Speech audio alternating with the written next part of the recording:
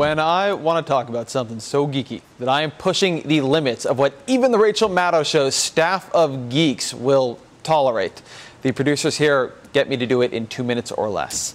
Uh, tonight's challenge comes in something I mentioned earlier the Medicare eligibility age. Sexy topic, right? Uh, try to control yourself, Rachel Maddow's audience. Now, Despite the fact that it is incredibly unpopular, Republicans really want to make cuts in Medicare, and specifically, they want to raise the eligibility age by two years from 65 to 67. That is also super unpopular. But the White House is open to it. They were open to it in 2011 in the Boehner Obama talks. They're open to it now.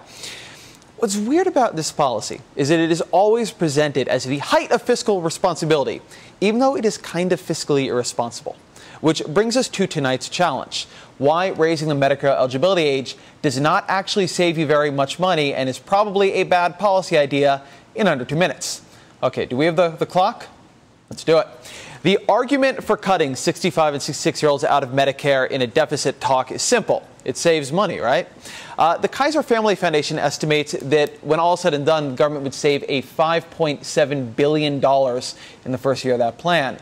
But those 65 and 66 year olds, they don't disappear. They're still going to be here and they're going to even get sick sometimes, which means these savings that we see by kicking them off the Medicare rolls, they pop back up elsewhere in the economy. It's not pure savings, it's a cost shift. First and foremost, of course, you're going to see increased costs for the seniors themselves who will have to find another health insurer. Since Medicare is huge and it uses its bargaining power to push down its prices it pays, it pays less than private insurers by quite a bit. The seniors turning to private insurers will have to pay more for the same coverage, about 3.7 billion more in the first year of the policy. For those 65 and 66 year olds who are eligible for Medicaid, states will have to pick up some of that tab. So nearly three quarters of a billion dollars will move to the states, we think. Then there are the employers. Many of the newly Medicare ineligible will turn to their employers. That will increase the healthcare costs of American companies by $4.5 billion. Some of these seniors, of course, will turn to the Affordable Care Act, raising premiums for the younger people in the new insurance exchanges. Those left in Medicare will pay a higher average premium too because the younger, healthier seniors have left, which means the average premiums go up for those who are older and sicker.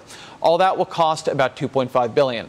So in order to save the federal government $5.7 billion, this plan to raise Medicare eligibility age would cost about twice that much across the economy. Done. Stop the clock. So that is the explanation in under two minutes, as promised. And now you might wonder, though, given all that, why are Democrats even considering a policy so fiscally pointless?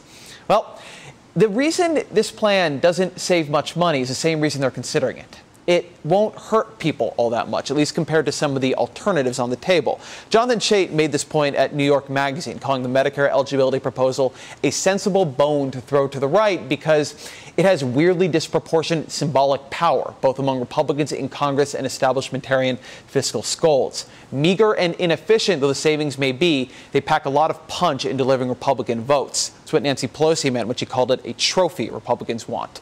Republicans see this as a big win for them. Big. And that's kind of the White House's quiet argument.